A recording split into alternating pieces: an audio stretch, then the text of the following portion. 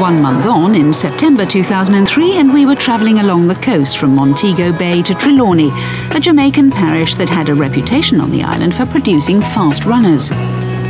Some said there was something special about the local honey that packed them full of energy. Whatever the reason, Usain Bolt was one of the most talented sprinters to have emerged from Trelawny in a long time. In 2002, then aged 15, and in front of adoring home fans in Kingston, Bolt became the youngest ever junior world champion when he won the 200 metres. His performances at the junior level had made him Jamaica's most exciting and popular athletics prospect. I really am proud of myself too for doing so well and making Jamaica proud. And I know Jamaica fans will always be behind me 100%. So I just like thank them for everything they have done for me from World Juniors they have been keeping and been pushing me onwards. At this time, Bolt had recently graduated from his local high school, which meant an end to his relationship with Dwight Barnett, the school's sports teacher who, as Usain's coach, had helped him begin realising his potential. Given Bolt's age, Barnett had decided to limit his weight training to ensure his muscle development remained in harmony with his growing body. The flexibility work they concentrated on helped Usain make the most of one of his natural attributes, his height my 200 style and really I just sprint out to run the corners fast. That's the main thing in a 200 meter. But when I come on, I always try to get tall. When you get tall, when I get tall, I seem to go a little bit faster.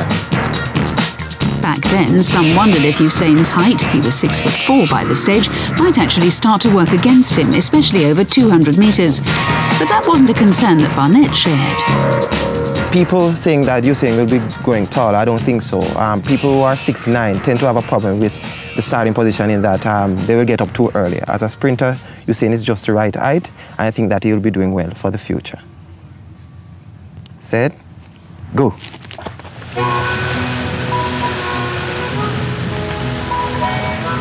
In 2003, Bolt was seen more as a 200 and 400 metre runner rather than a 100 and 200 sprinter. He was already being compared to one of his heroes, Michael Johnson, and the Jamaican teenager was flattered by the comparison. He's always relaxed, no matter what kind of pressure he's under. He always stays relaxed. Don't try to really do over anything different from his normal running plan. I just always watch that and I try to keep relaxed, just like him.